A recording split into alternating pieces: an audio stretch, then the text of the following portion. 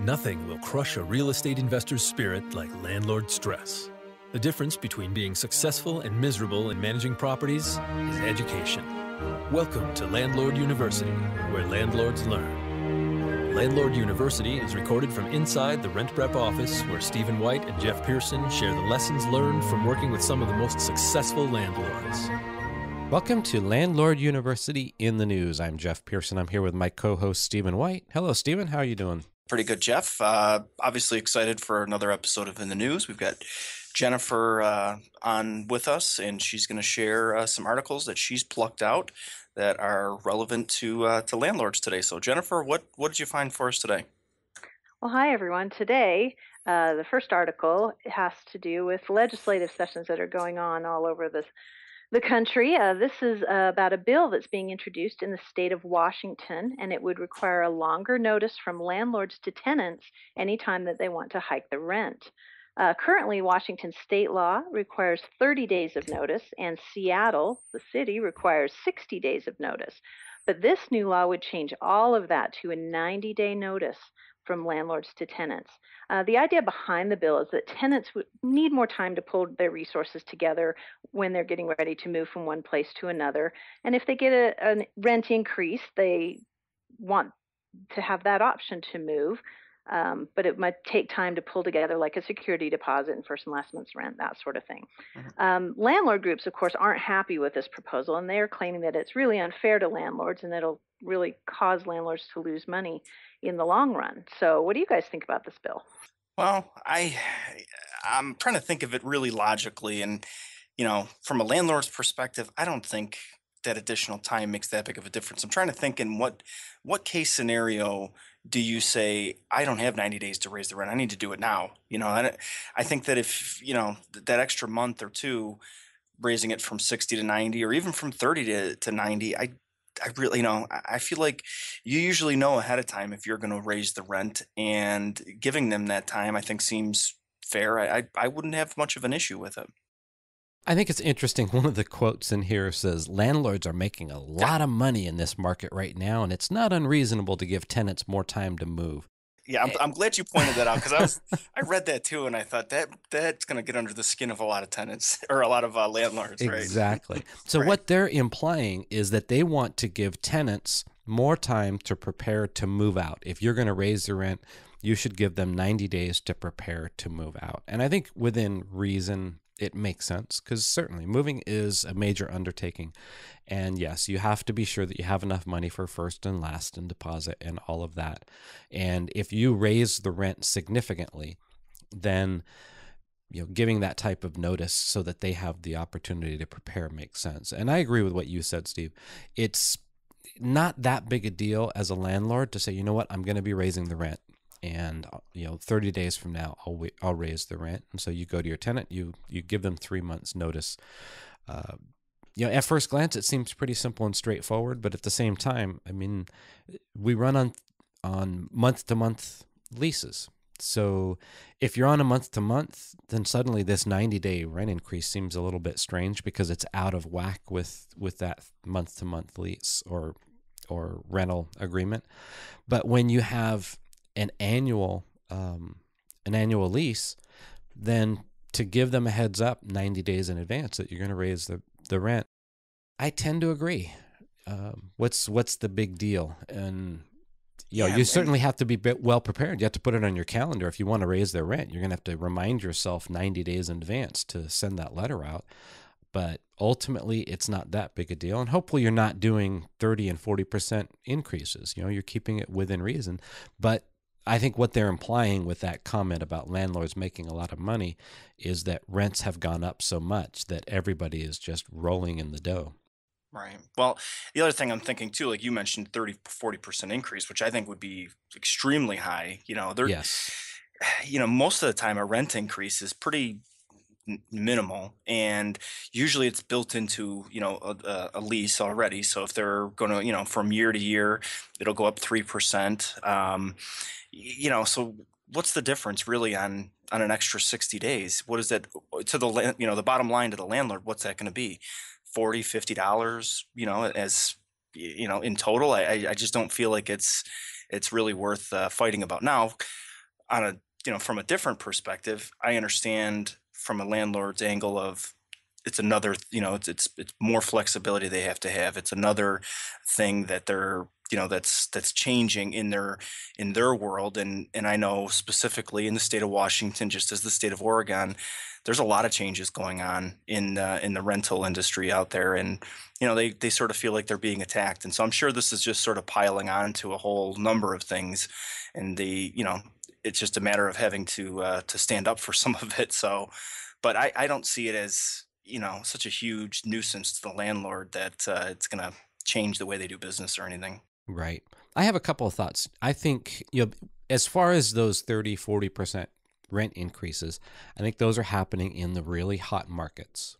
And those are landlords that are taking advantage of a hot market and doing everything they can to to take advantage of it. Mhm. You're right. You know, most increases are going to be reasonable. They're going to be some small percentage. And I would almost suggest in this type of a proposal, if you're going to do in 90 days, say it's going to be 90 days if it's above a 10% increase. You can do less than 10%, or you can say 7 or 8%, whatever seems reasonable. And anything less than that requires the standard 30 day notice or the 60 days that Seattle requires.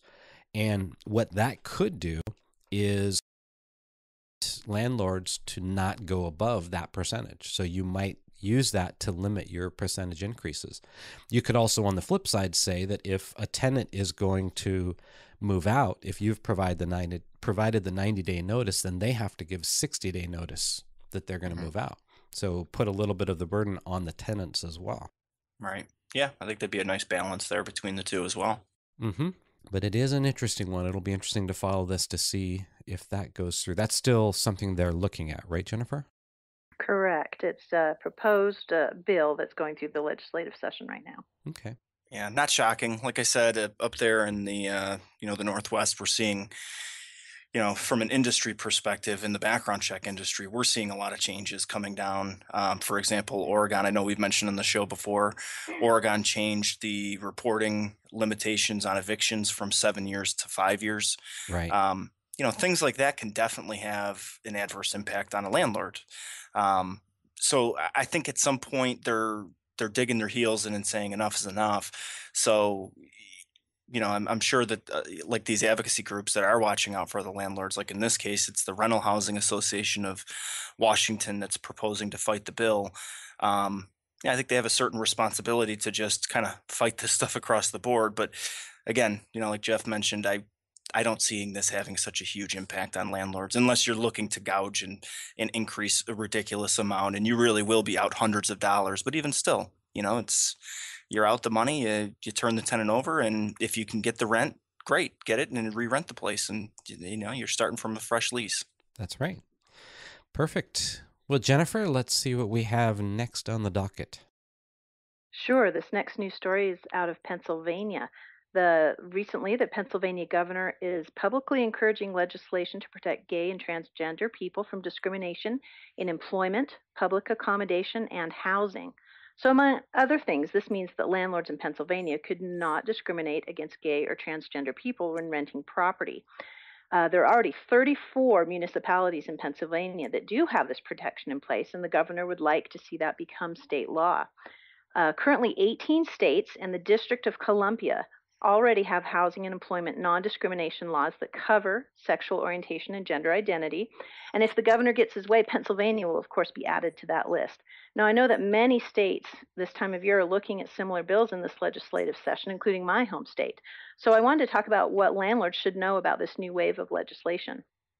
Yeah, and perfect timing. Um, you know, I just read an article this morning talking about sort of, you know, the Supreme Court ruling um, on gay marriage and, you know, really talking about uh, the direction that everything's going and makes you wonder, you know, I mean, I feel like we're living in kind of like, uh, you know, the 60s and the civil rights movement in a time where we're, we're seeing some huge changes develop in this area. And it's obviously going to impact many industries. And obviously, the rental industry is a big one. I think there's no question what you were talking about, Stephen. I heard the same stuff about the Supreme Court today. And the impact that this should have on landlords should be pretty minor because I would expect that in most situations, landlords aren't aren't discriminating. I would like to hope that most landlords in this day and age aren't discriminating. Certainly, there are people in in different parts of the country that that are more conservative than others as far as this particular topic goes. But when it really comes down to it, we've talked before about running running this like a business and when you talk about things like discrimination whether it's LBGT or race discrimination or you know single mothers or whatever you want it to be the best thing for a landlord is to not discriminate. Mm-hmm. establish what your standards are for the tenant that you want in your property, taking all of those things out of those standards so that it comes down to the basic facts of their ability to pay, their rental history, their job history, and stability. You take all of those, you put them together along with a, a certain portion of gut instinct and you make a determination as to who the best tenant is. But if you run it like a business, if you if you establish your standards in writing before you move forward, then you can take this stuff, this type of stuff out of the equation. And if these laws are being passed in your area, you have to make sure that you're not discriminating. And the only way to make sure that you can prove that is to establish these standards and always follow these standards. Yeah, it's something that we've been talking a little bit about lately, uh, or sort of the I think what's becoming the new mantra for landlords is principle can be expensive. You yes.